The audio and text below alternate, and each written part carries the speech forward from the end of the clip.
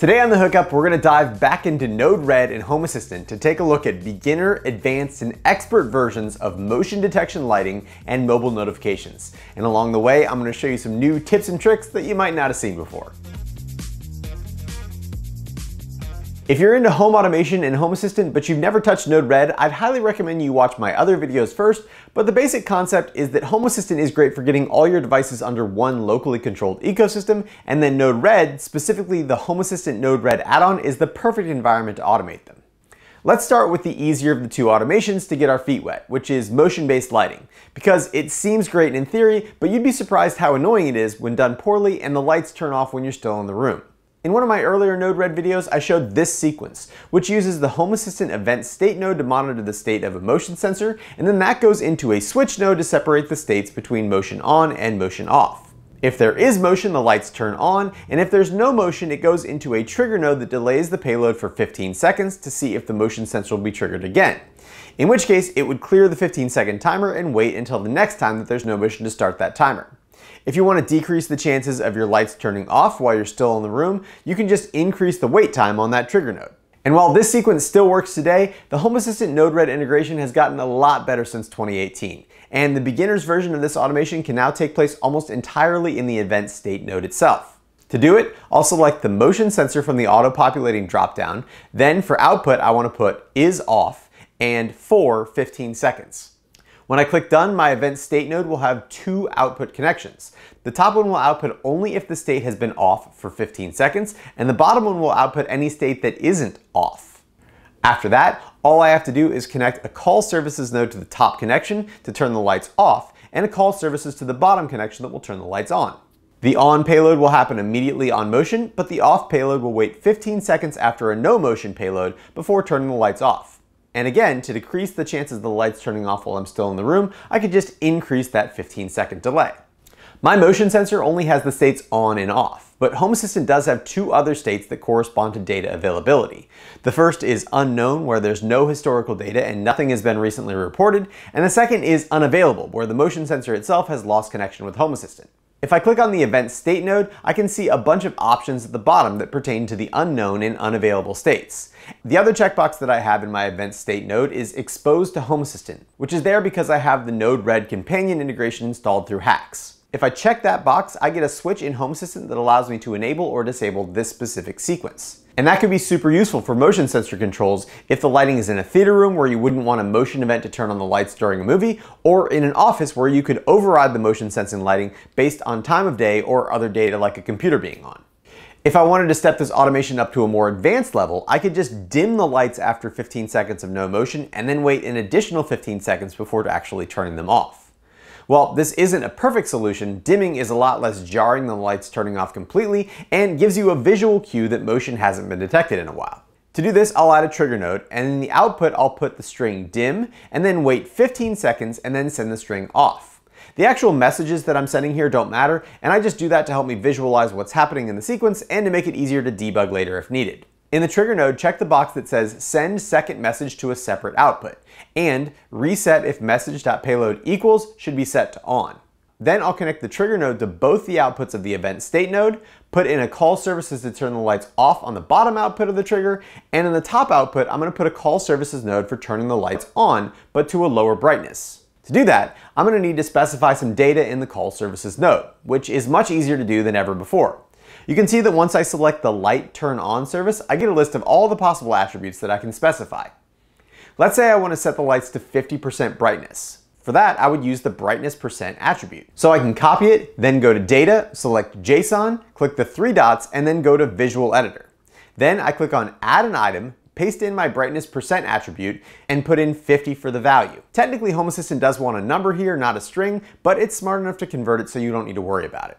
If you feel comfortable writing your own JSON, you obviously don't need to use the visual editor, but I think it's a pretty cool feature. The other thing that I need to add to this automation is brightness in the call services node for when motion is detected. So I can just copy that JSON data that we just generated, go into my other call services node and paste it into the data field with my desired brightness, which I'm gonna go for 100%. But I hear what you're saying. Maybe you don't always want the brightness to be 100%, and maybe you want to be able to set it. And that brings us to our expert level automation. For this, the warning brightness is going to be 50% of whatever the existing brightness was. And then on motion, I'm going to dynamically set the brightness back to whatever it originally was. To do this, I'll add a current state node in between my trigger node and my low brightness node. In the current state node, I'll select my light entity, then in message.payload, I'll output the state, in message.data, I'll output the entity, which will give me all of its attributes, and then I'll add one additional output as a flow variable called flow light brightness, which will also contain my entity data. To set the brightness to 50% of its current brightness, I'll need to know where that current brightness data is being stored. So I'll grab a debug node, set it to output the complete message object, and then I'll put it after the current state node. Now when that part of the sequence is triggered, I can see the output in my debug window. And if I click down into message.data, I can see that there's an attribute called brightness. And if I hover over it, I can click on the first icon and that will copy the path to that attribute. Now in my call services node, I can replace my hard-coded brightness with message dot and then paste in the path that I just copied and then add divided by 2 at the end.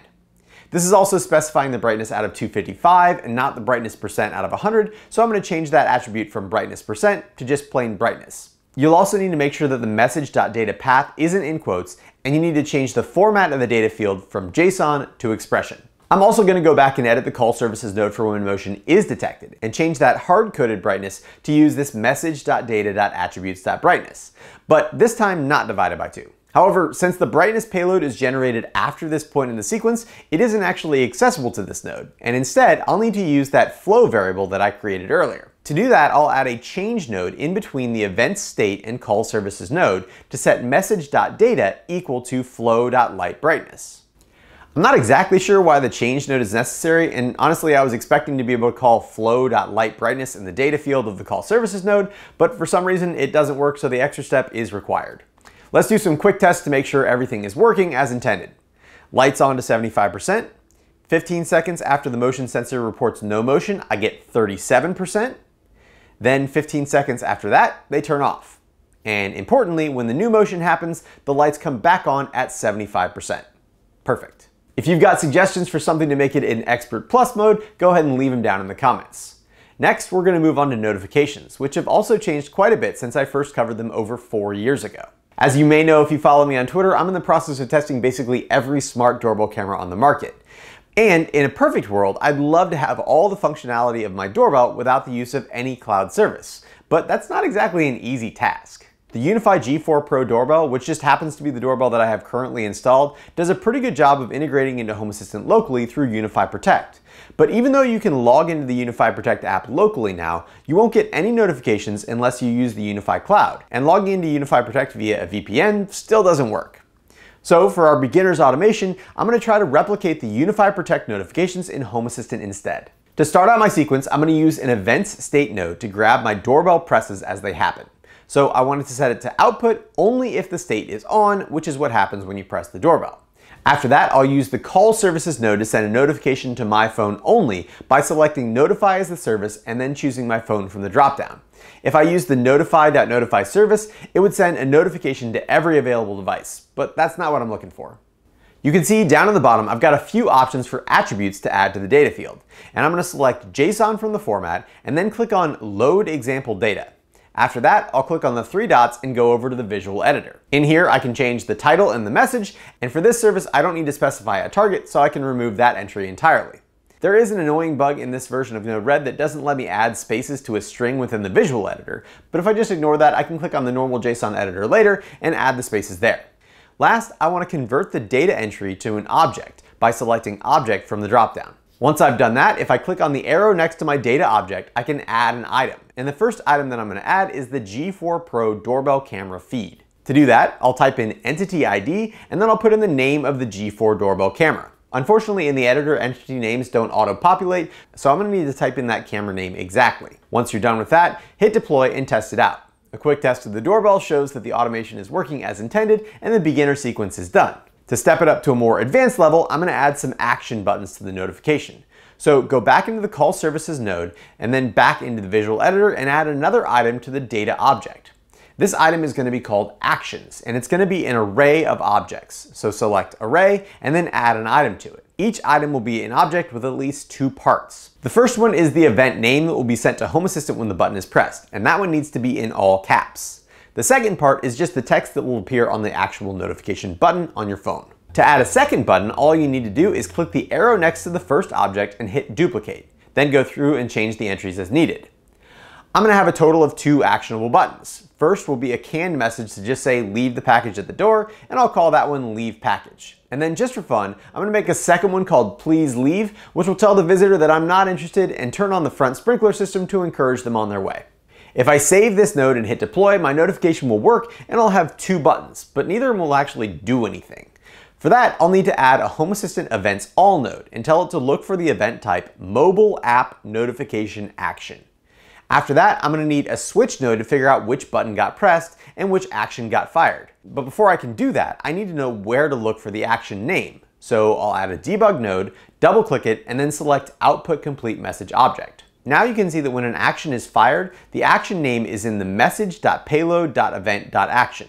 So again, I can click on copy path, and then in my switch node, I can just paste in that as my property that I'm looking for. After that, I'll add a different switch condition for each of my possible actions, and I'm ready to automate from there. If I want to add more and different notification actions later, I can still just use the same events node and just continue adding event names into the switch node. For that canned message, I'm going to use the call services node with a TTS service and the G4 doorbell speaker as the media player target. I'll use the load example data button again to format my JSON and then edit my specific messages, which will be please leave a package at the door. I'll also have a TTS message for my please leave button, which will say, no thank you, we're not interested. And then after that, I'll give a 10 second delay before activating my sprinkler system zone in the front yard. Then I'll put in another delay node for one minute and I'll use another call services node to turn the sprinklers back off. Let's go test it out.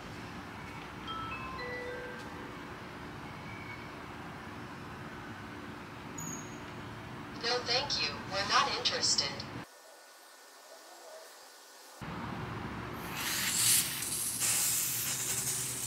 All right, pretty good, but let's step it up to expert level. For the leave the package at the door action, I'm gonna add two more options to the notification itself. The first one is a URI, which will open up the Home Assistant app for my front yard cameras tab whenever the action is pressed. And the second will have behavior as the action and text input as the value, which will open up a keyboard on my phone to let me type in the TTS message. Just like before, I need to find out where that message ends up, so I can use a debug node with my Home Assistant Events All node to find it. And sure enough, in message.payload.event.reply text, I can see the text input. So I can click copy path and then go to the TTS node and instead of my original message, I'll paste the path of the text input message instead. For that go away action, I'll also add the URI for my front yard cameras tab in Home Assistant, but I'm also gonna make the sprinkler response a little bit smarter. This time, I'll use the current state node to see if the person detection on the G4 doorbell is still active, meaning the unwanted guest hasn't left, in which case I want to turn the sprinklers on. After that, I'm going to use a new node called wait for and set it to wait until the state is equal to none, meaning the person is no longer detected. I also don't want the sprinklers to run for too long, so I'll set the maximum timeout to one minute, and then I'll pump both of the outputs into a call services node to turn the sprinklers back off. And now we test.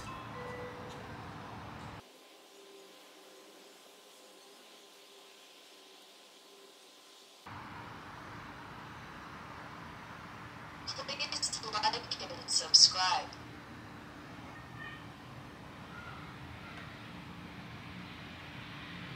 No thank you, we're not interested.